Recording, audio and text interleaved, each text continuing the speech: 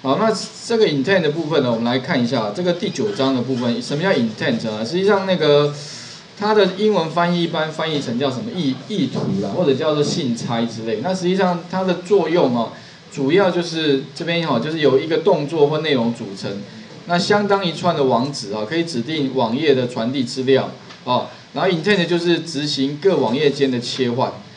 不过这样这样讲有点抽象了，实际上你要切换到另外一个 activity 就要 intent，或者是这边会介绍到呢怎么样？你如果说要浏览网站，比如说你今天要，呃做一个超连接，你也要用到 intent 做浏览网站的动作，你给他一个网址，他就帮你跳到那个网页去了。或者是你要打电话，就是说呢，你给他一个号码，他就自动帮你拨号码出去了，也可以用 intent 哈。然后呢，这个叫呼叫电话嘛，呼叫是。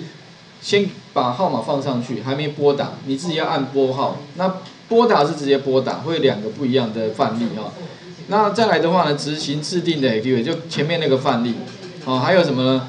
要怎么附带资料？哦，就是说有些资料呢，我们如果说要跟着一起传到下一个 activity 的话，那怎么做？其实这边又要用到一个所谓的 bundle 哦，bundle 等等的传送，好，甚至回传资料哦，这边有几个。重点哈，我们后面会陆陆续续跟各位做说明。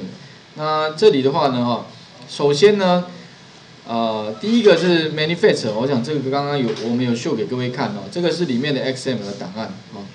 那我们等一下举一个例子给各位看一下，这个是语相关的语法。第一个哈，等一下请各位呢先建立一个专案，这个专案名称的话呢，请各位取一个叫 intent one，intent one。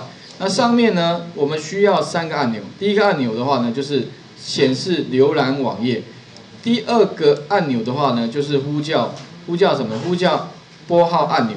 第三个就是拨打电话，会有这三个这个按钮哈显示出来。所以等一下，请各位呢先到那个 Eclipse 里面，然后呢建立一个新建一个什么呢？Enjoy 的 Application Project 哦，那这个 Project 里面的话呢，请各位建一个名称叫 Intent One，Intent One。